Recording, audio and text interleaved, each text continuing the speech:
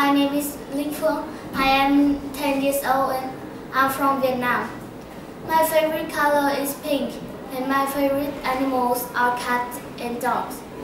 I like playing computer games and I can ride a bike. My family has got four people. I like to go to the cinema. And thank you and see you again.